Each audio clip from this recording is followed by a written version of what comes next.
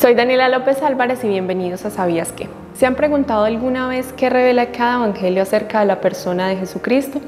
El día de hoy conoceremos brevemente los siete yo soy del Evangelio según San Juan.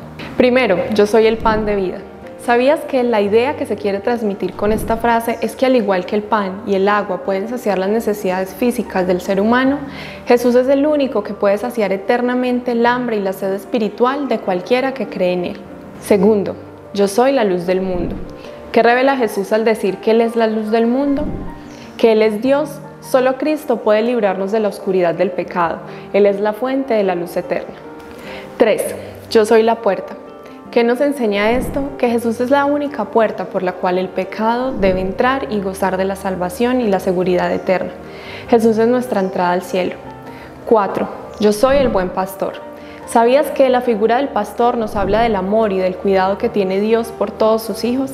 Quinta, yo soy la resurrección y la vida. ¿Cuál es la promesa que acompaña esta verdad? Que si creemos en Él, es decir, en su sacrificio sustitutorio, aunque estemos muertos, siempre viviremos. Sexto, yo soy el camino, la verdad y la vida. El único camino al cielo es Jesucristo. Él es Dios hecho hombre, que por amor a nosotros vino y tomó nuestro lugar en la cruz. Siete, yo soy la vid verdadera. Cristo es la vid verdadera y nosotros somos sus ramas. Con esta figura nos enseña la vital dependencia que debe existir entre nosotros y Él. Él es la vid de quien recibimos todo lo que necesitamos para vivir.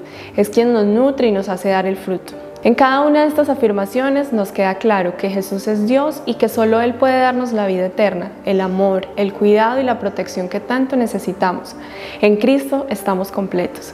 Soy Daniela López Álvarez y nos vemos en una próxima emisión de Sabías que. No olvides seguirnos en nuestras redes sociales.